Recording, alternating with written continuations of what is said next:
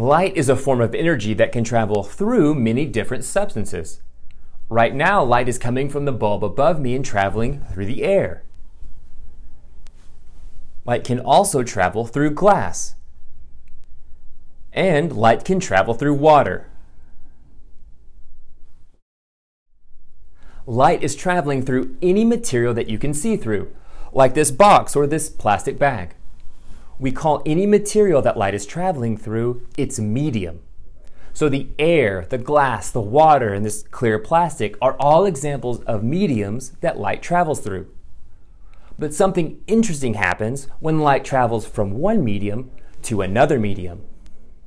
Here you can see that as light goes from the air into the clear plastic block, it bends. It bends again when it goes from the block back into the air. Light bends as it travels from one medium to another medium, and we call this bending of light refraction. Here you can see a red laser shining into an aquarium full of water. You can clearly see the light bend as it travels from one medium to another. The light refracts as it goes from the air into the water. The refraction of light is what makes objects that are placed into cups of water look bent or broken.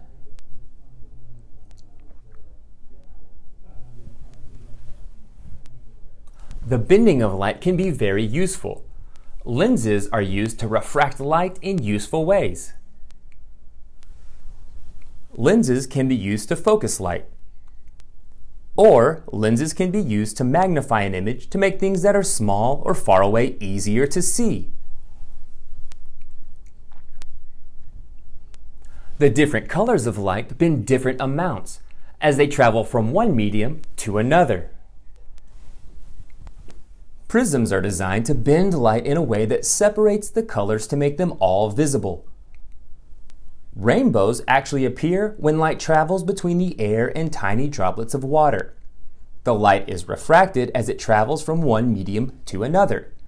This causes the colors to spread apart, creating a rainbow. So here I have a laser and three plastic toy dinosaurs that are all different colors. But when I turn the laser on, the laser beams only shine on the blue dinosaur. So here's your question. How could we use refraction to make a laser beam shine on each of the three dinosaurs? Take a minute and discuss that with your classmates. Then I'll be back to talk about the answer.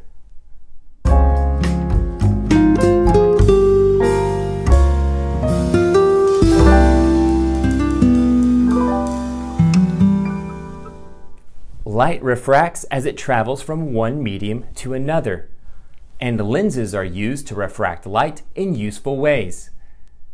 So by placing a lens in the path of the lasers, I can bend the light so that a beam of light from the laser strikes each of the dinosaurs. I'm sure this is what you and your classmates came up with, and I hope this video has helped you understand refraction a little bit better. Keep up the great work, and I'll see you next time.